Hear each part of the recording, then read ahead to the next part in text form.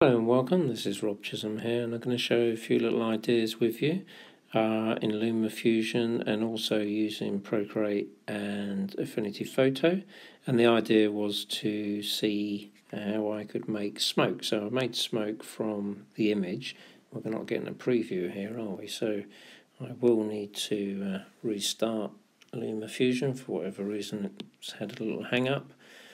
Uh, here we go. Yeah, we're back. So sorry about that. Um, so what we've got is smoke. We've got on uh, the smoke is animated. It's just a still image. We've got a person, and what I'm going to do also is different methods of making smoke from the same still image.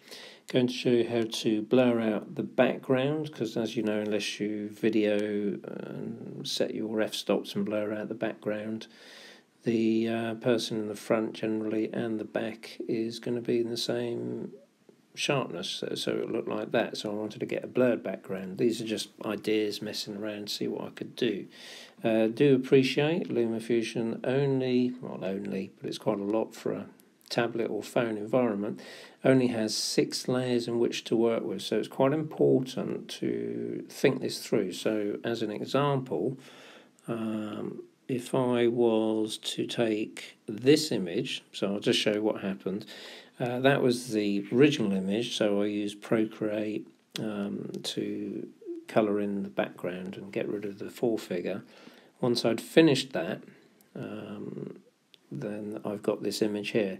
Uh, now I could set, I could blur that in Procreate at the same time, but I left it so I could do that in LumaFusion.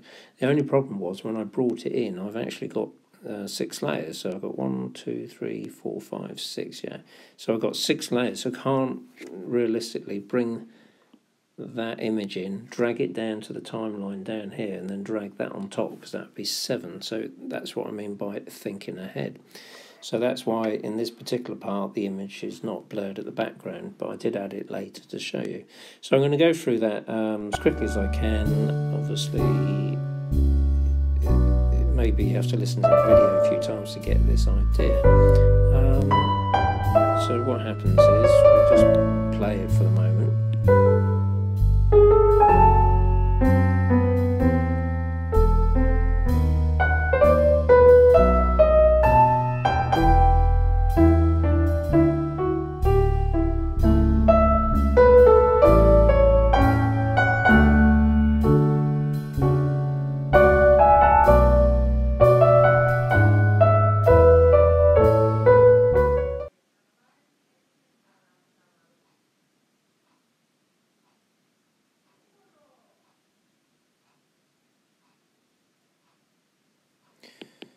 So that's what that, so that's what we will have. So how, how do we go about making all of that? Well, if we start with um, the smoke, so how would you make the smoke? Well, we'll just jump into. You could go Storyblocks. Um, if you if you haven't seen it, you can go Storyblocks here, and you could go to footage, and you probably pick up some smoke, etc. But um, you you need it like uh, PNG, so the background's removed. So I just opted to go for uh, Procreate and oops, uh, smoke. There we go. I've already made one. So that that's my smoke. You've got brushes in uh, Affinity uh, in Procreate where you can make smoke. I think there might actually be one called smoke. There are packages on Affinity Photo, and I do believe if you go to the Facebook group run by Paul Mullet, there was a person who, for free, gave zipped uh, smoke, so he made his own smoke up and gave it away. But it's more fun, I think, to uh, play with the paint and start colouring and see where you come up with. So I came up with that. I exported this as, um, uh, what is it, PNG so I'm going to cancel that in a moment. But you can't take that into LumaFusion. It's not supported in Procreate. So you would have to then go to your photo app to, to get that. I do hate this um, pushing up at the, all it's doing is drawing.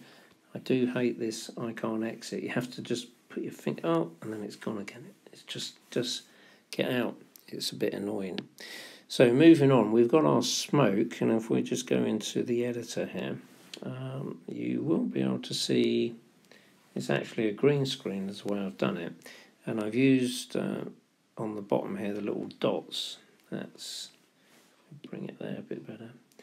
You'll be able to see it. The size and position is what I've changed. If you look on the right hand side you can see the size getting bigger.